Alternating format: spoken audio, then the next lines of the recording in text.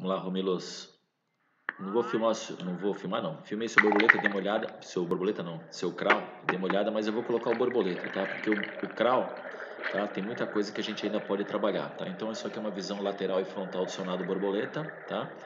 Eu acho que tá um nado legal, tá certo? Porque o crawl tem muita coisa que tem erro, mas eu gostaria depois com calma, tá? Deixar você nadar um pouco mais, como eu falei, melhorar um pouco mais a sua sua desenvoltura na água, para a gente falar mais sobre o crawl. O peito a gente não filmou ainda, né? Porque a gente estava no. Nós, gente, a gente estava é bom, né? Nós estávamos em início de temporada, tá certo? Então o peito a gente vai fazer uma filmagem provavelmente na semana que vem. Todos vocês nadadores de peito, tá? Vou dar uma sincronizada nos vídeos aqui, por isso que demoram muitas as minhas avaliações, só para você ver o sonado de borboleta. Achei ele bem legal, bem bacana, tá? Com bastante qualidade, tá? É importante só você nadar mais borboleta, mas principalmente adquirir uma boa resistência, um bom condicionamento no crawl. Por isso que o crawl, apesar de eu não mostrar aqui, você tem que ter mais desenvoltura nele, tá? Então vamos lá. Primeiro em velocidade lenta, tá? Câmera lenta, entrada. O detalhe de erro aqui é bem fácil de ser corrigido, mas é um erro comum para todo nadador de borboleta, são dois erros principais que você tem aqui, tá? Que eu vou apontar, então, mas o teu nado de borboleta, ele tá bonito, tá? Ele tá técnico, tá? Vamos dar uma travada aqui nos dois vídeos para sincronizar, aí na hora que eu puxo, os dois vêm junto. Percebe? Então vamos lá, vou colocar aqui no meio, no final da minha avaliação eu sempre coloco em velocidade normal e velocidade reduzida para você ver de novo. Então, ó, na hora que você entrou o braço na água, na hora que você entrou, então você vai dar atenção essa câmera aqui que eu estou mexendo, tá? Essa câmera daqui, tá? Na hora que você entra com o braço na água, seu posicionamento da cabeça tá legal, tá certo? Só que na hora que você vai afundando, o seu braço está estendido. Apesar que a, a, imagem ela perde um pouquinho a qualidade aqui, né? A gente não tem uma, uma câmera de ultra short velocidade, mega power rock music, tá? Então você vai ver que o teu braço ele está descendo de uma forma estendida para fazer a tração para trás, tá? Então você deveria neste momento aqui subir o cotovelo. Vou pegar uma outra imagem, vamos ver se está com mais qualidade. A outra imagem, ó, entrou na água. Neste momento, o ideal seria aqui, ó, tá teu braço, tá certo? E aqui a sua mão. Peraí, deixa eu, vou manter a mesma cor. A sua mão, beleza? Agora neste momento você deveria fazer isso aqui e isso aqui e a mão. E aí eu fiz os desenhos tudo errado. Vamos lá. Vamos fazer diferente. Seu braço, cotovelo, né?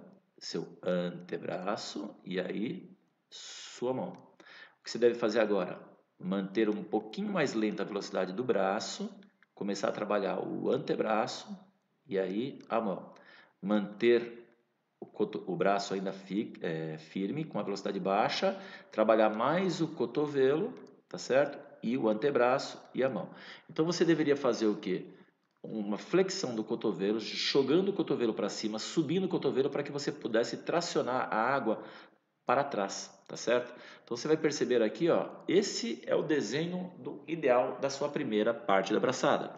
E você vai perceber que agora eu vou tirar todos os traços, que teu braço está estendido, com a sua mão estendida, e aí eu vou rodar um pouco para baixo, o seu braço continua estendido, com sua mão estendida, e aí eu vou rodar um pouco mais, seu braço está estendido, com sua mão estendida, vou rodar um pouco mais, opa, nesse momento o teu braço está estendido, com a sua mão estendida, e aqui acontece o erro também de todo nadador, aí o teu braço começa a acontecer aqui, aqui, com a sua mão.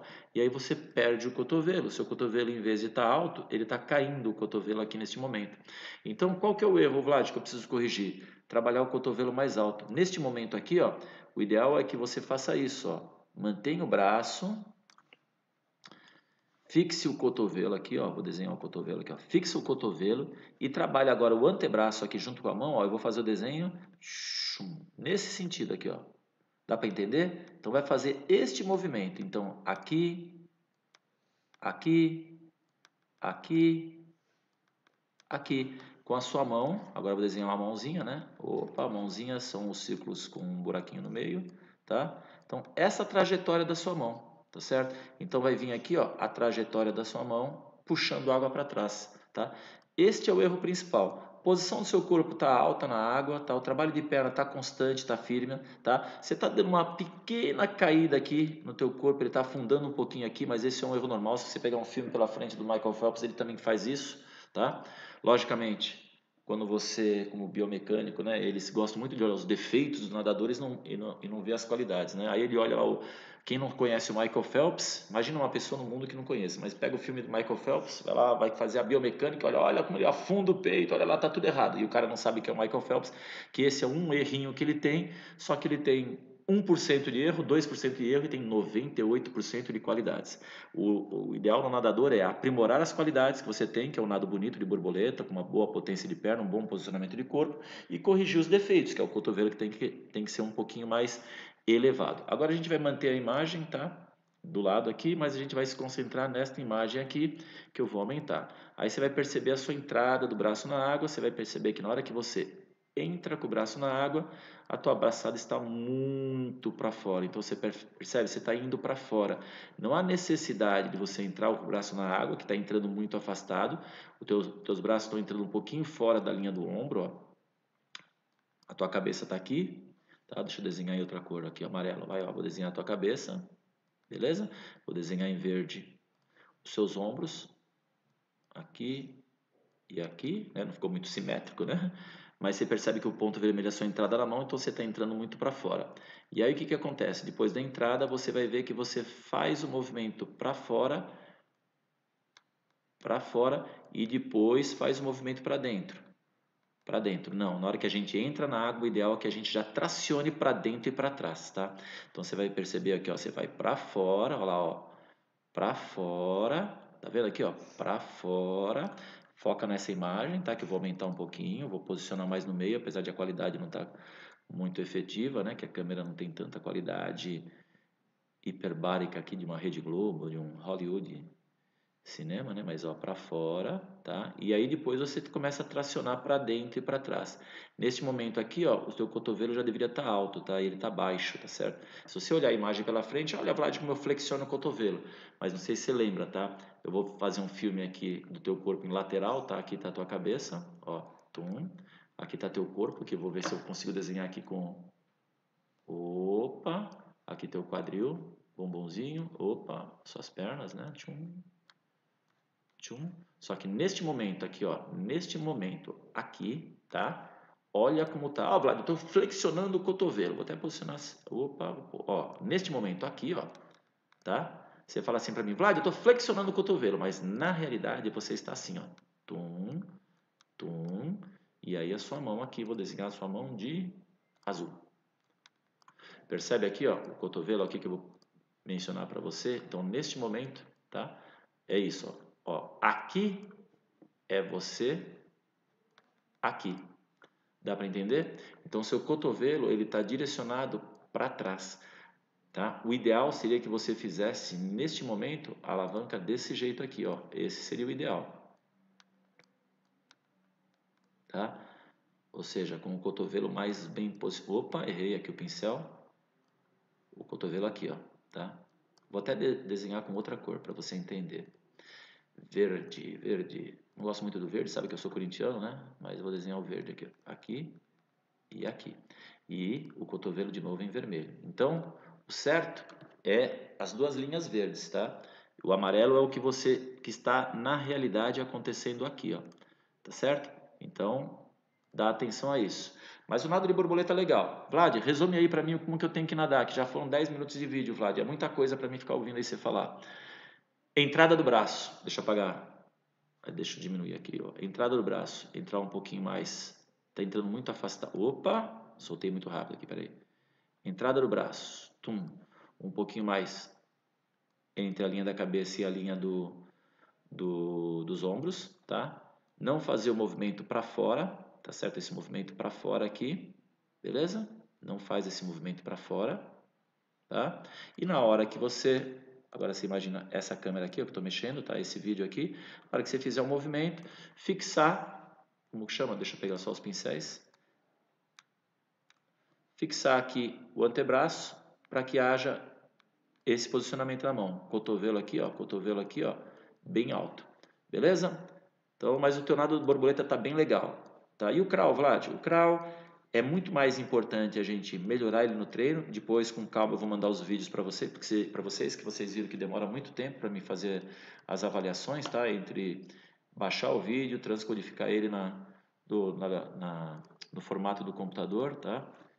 Editar, mandar para a internet para que vocês vejam, tá? Então, eu estou fazendo aqui de casa aqui, né? No meu horário free aqui, para vocês ter uma base boa. Depois eu mando as filmagens de crawl também e de costas, tá? Filmou. E peito a gente vai filmar semana que vem. Ondulação. Braçada, percebe? O cotovelo tem que estar tá alto, tá certo? Ritmo de batimento de perna legal, tá? Precisa melhorar a flexibilidade do tornozelo. Existe um outro nadador da sua idade que eu falei sobre flexibilidade do tornozelo e o cara ainda não veio conversar comigo. Depois venha falar comigo sobre flexibilidade do tornozelo, tá? Mas está um nado legal, um nado bacana, tá certo? Um nado bom. Mas, Vlad, como melhora meu borboleta? Só que, infelizmente, quer melhorar o crawl? Nade crawl. Quer melhorar o costas? Nade costas. Quer melhorar o peito? Nade peito. Quer melhorar o borboleta? Nade borboleta. O problema é na hora que você nada muito borboleta, o que, que acontece? Tendência do borboleta é você perder técnica de nado. E aí o que, que acontece? O nadador começa a nadar errado e aí ele vai piorar. Nadar muito borboleta também não é a solução. Nadar borboleta correto é a solução. Nadar muito borboleta não adianta, nadar pouco borboleta não adianta. Nadar borboleta corretamente, não importa a série, se é A2, se é A3, se é velocidade, aí que é o, ideal. Então você vai ter que nadar mais borboleta e cada vez você nadar borboleta corretamente. Vamos pôr velocidade normal agora. Tá?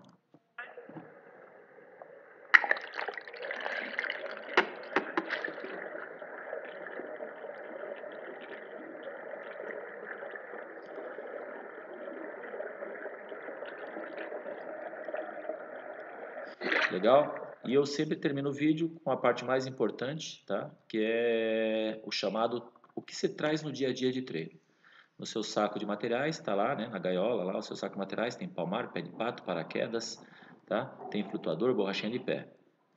Mas o qual que é a, o material mais importante para você trazer no dia de, dia de treino por enquanto você vê seu nado em câmera lenta? Sabe qual é? Motivação e alegria. A grande diferença dos bons nadadores, a grande diferença dos nadadores que realmente nadam bem, sempre, é aqueles que trazem no dia a dia de treino motivação, aqueles que trazem no dia a dia de treino alegria.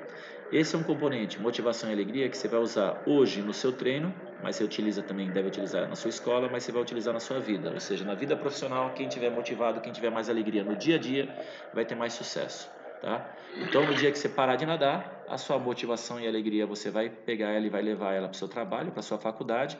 Talvez você não use mais seu pé de pato, seu palmar, seu paraquedas, mas um dos materiais que você tem que trazer todo dia no treino, que é motivação e alegria, você pode guardar eles porque você vai utilizar isso na sua vida, na sua vida profissional, na sua vida familiar e vai utilizar. Então, este material, motivação e alegria, esses dois materiais, nunca esqueça, devem estar no treino e na sua vida pessoal. Um abraço, sucesso!